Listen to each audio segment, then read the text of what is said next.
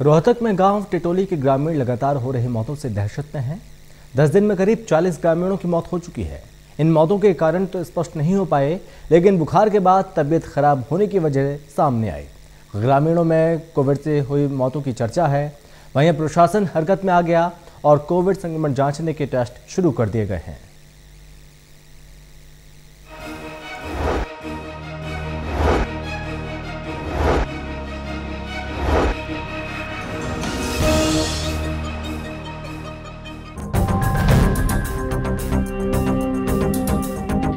ज़िले के गाँव टिटौली में कोरोना का इतना खौफ बढ़ गया है कि अब तो गलियाँ भी सुनसान हो गई हैं। गाँव में पिछले 10 दिन में लगभग 40 मौतें हो चुकी हैं। इन मौत का कारण मरने से पहले बुखार आना बताया जा रहा है लेकिन ग्रामीण मान रहे हैं कि शायद कोरोना संक्रमण की वजह से ही ये मौतें हुई हैं। ग्रामीणों ने जहाँ महामारी से बचाव के लिए गाँव की गलियों में हवन यज्ञ करना शुरू कर दिया है, वहीं प्रशासन की टीम भी लोगों के टेस्ट करने के लिए गाँव में पहुँच चुकी है ये बीमारी की महामारी चल रही है, काफ़ी लोग परेशान हो गए हैं, चालीस पचास आदमी भाई एक्सपायर भी हो गए हैं, टीम डेली आती है, और चेकिंग भी होती है चेकअप करते हैं, और सभी को यही बोलते हैं कि भैया आप अपना खुद ध्यान रखो, सो आप खुद सोच रहे, सब दूसरा ही सोचते रहेंगे, थोड़ी दूरी बनाए रखो मास्क लगाओ, बस यही बात है जी अब तो। ऐसा है जी, ये तो हमारे आँखों देखी बात है, कल भी आठ मौत हुई हैं।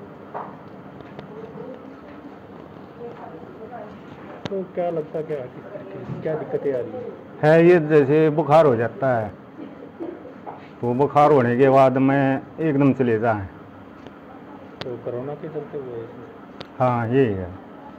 कितने लोग बीमार हैं गाँव के कुछ आइडिया है? गाँव में जैसे टेस्ट चल रहे हैं टेस्ट में लगभग कल होया था बीस टेस्ट तो बीसों में लगभग आधा का था। सौ टेस्ट हो चुके हैं लगभग सौ में से तीस पैंतीस आदमियों का पॉजिटिव है। गाँव में पहुँचे रोहतक के एसडीएम राकेश सैनी ने बताया कि वो लोगों को समझाने का प्रयास कर रहे हैं कि ज़्यादा से ज़्यादा लोग अपना टेस्ट करवाएँ ताकि ये पता चल सके कि वो कोरोना संक्रमित तो नहीं है। अगर ये लोग ऐसा करेंगे तभी अपने परिवारों को बचा पाएँगे। बीमारी एक ऐसी है इसमें संक्रमण बहुत तीव्र गति से फैलता है।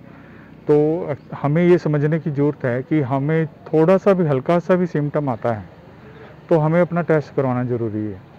और जब तक हमें टेस्ट नहीं कराएँगे तो हम अननेसेसरी अपने वेट करेंगे तो इतना वो डैमेज कर जाता है क्योंकि शुरू के पाँच सात दिन बड़े क्रुशियल होते हैं इसके बीमारी में। अगर जितनी जल्दी आपको अपनी बीमारी का पता लगे तो उतनी ही जल्दी आप अपना इलाज करा पाएँगे और इसमें कोई ऐसी दिक्कत नहीं अगर टाइमली इलाज हो जाए तो इससे कोई समाधान नहीं हो, होता। हो जाता है कि अगर आप टाइमली उसको डिटेक्ट कर लेते हो और उसका इलाज करवा लेते हो। यहाँ ही हमने अब पिछले शनिवार को हमने मेडिकल टीम जो हमारे एसएमओ की थी, उन्होंने टेस्टिंग के लिए कैंप लगाया। उस दिन इनके इकतालीस लोग ही आए। मतलब हमने गाँव में पूरा मुनादी वगैरह इन्फॉर्मेशन देने के बावजूद भी। फिर हमने संडे को भी टेस्टिंग के लिए कैंप लगाया यहाँ गाँव में। उस दिन 40 लोग ही आए टेस्ट कराने के लिए सिर्फ़। कल हमने यानी कि मंगलवार को भी कैंप लगाया। हमारी टीम 11 से लेके 3 बजे तक यहाँ पर कैंप लगा के बैठे। भी कोई आए, अपने जिसको भी सिम्टम्स हैं, अपने टेस्ट करा ले, उनको पता चल जाए कि एटलीस्ट मुझे बीमारी है या नहीं है।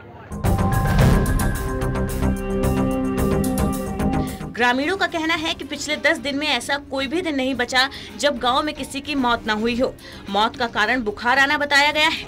अब तो स्वास्थ्य विभाग की टीम ने जाँच करनी भी शुरू कर दी है और टेस्ट में बहुत से लोग पॉजिटिव भी आए हैं। रोहतक से देवेंद्र शर्मा की रिपोर्ट।